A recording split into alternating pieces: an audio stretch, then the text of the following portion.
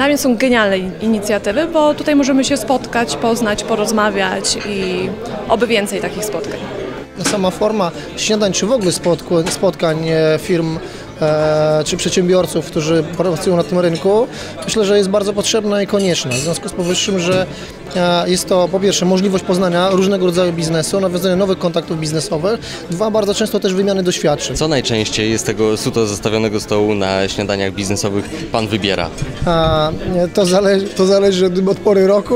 E, Jeśli chodzi, jeśli chodzi o, o, o, czas, o czas zimowy, to jest czas magazynowania, w związku z powyższym wtedy e, najczęściej, najczęściej to jest e, bekon, kiełbaski e, i jajecznica. E, Kiedy nadchodzi okres wiosenny, to jest bardziej twarożek, jogurty i tym podobne rzeczy. Jesteśmy z branży piekarniczo-cukierniczej, więc, więc zawsze sprawdzamy, sprawdzamy wyroby w cudzysłowie powiem konkurencji, więc na pewno, na pewno, na pewno pieczywo, troszeczkę słodkości, no i kawa. Wdrażamy na rynek nowy produkt pod postacią Ferber, ziarno dedykowane dla, dla, dla dość wymagających klientów, więc na pewno też tutaj zawsze na śniadaniach biznesowych y, próbujemy, próbujemy kawy i oceniamy. Mam nadzieję, że niedługo pojawi się nasze ziarno w większości tutaj obiektów, których y, y, pięknie nas tutaj goszczą.